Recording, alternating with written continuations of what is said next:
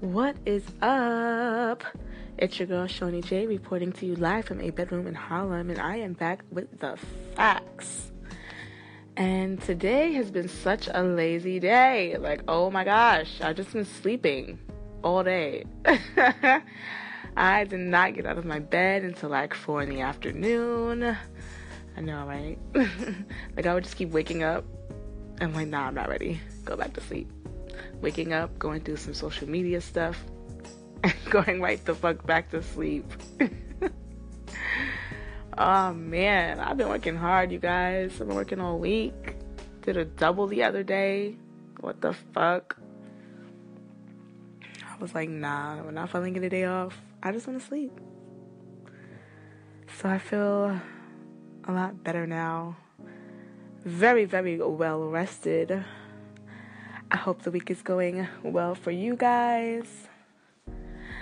And today, we're going to talk a lot about hair. And I'm going to share some of the frustrations that I've dealt with and that I pretty much still deal with regarding my afro.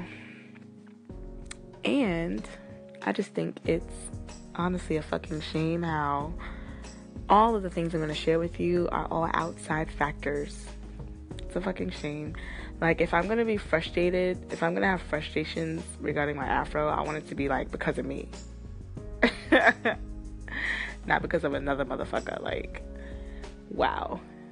It's 2018. And we're still dealing with bullshit like this.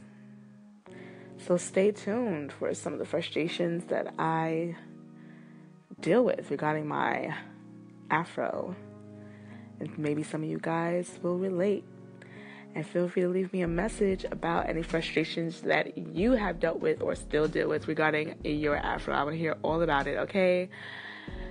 And before I jump into it, let's listen to some music. Enjoy.